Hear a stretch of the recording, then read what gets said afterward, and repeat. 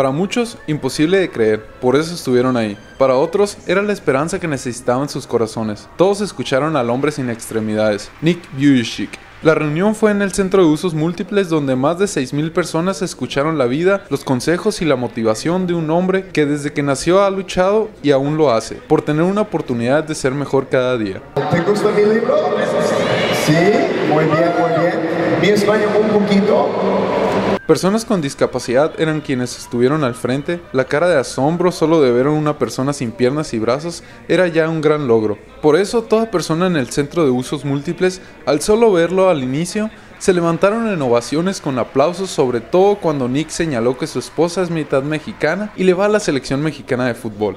Mientras Nick hablaba en inglés, contaba con un traductor al español y además se contó con dos traductores de lenguaje de señas para sordomudos, quienes estuvieron presentes en el evento. I fish, pesco, I surf, surfeo, uh, I skydive, pa- hago paracaidismo and I scuba y dive. también buceo. Many people say, wow, Y mucha gente dice, wow, you've done more than me. haces más que yo. You can do anything. Tú puedes hacer cualquier cosa. No, I can't. No, no puedo. But I my full potential. Pero siempre intento encontrar mi máxima potencial. I want to do all that I can do. Yo quiero hacer todo lo que sí puedo hacer.